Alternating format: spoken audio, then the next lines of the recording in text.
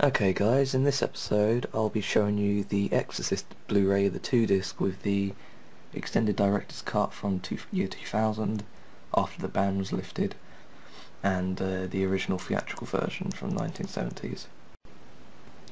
As you can see the uh, front cover sports the famous shot from the movie with the Exorcist entering the MacNeil house and uh, it's also the poster here's your spine. It's got the Exorcist and the extended director's cut and the theatrical version printed on the side with the Blu-ray logo, 18 certificates and a Warner Brothers logo.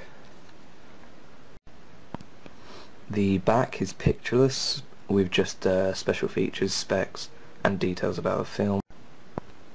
Once you open it you're going to find a leaflet here for a uh, 7 Blu-ray from David Fincher and the Lethal Weapon collection Blu-ray and your discs.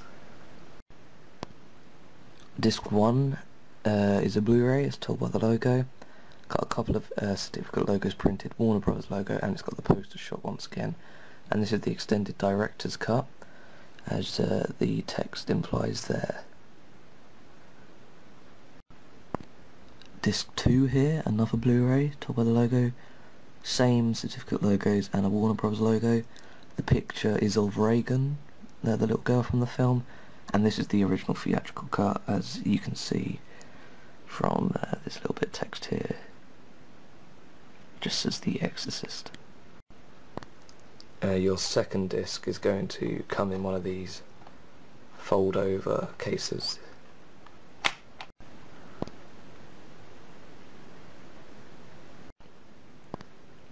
On disc 1, the extended director's cut, you're going to find a uh, three-part documentary on the movie's production and legacy.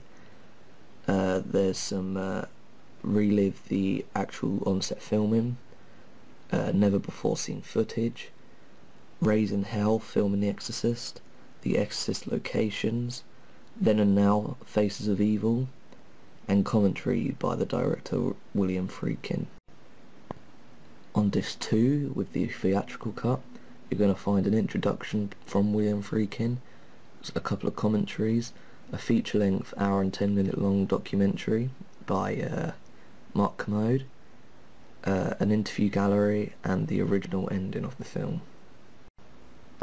The uh, director's cut is 132 minutes, and the original theatrical version is 122 minutes.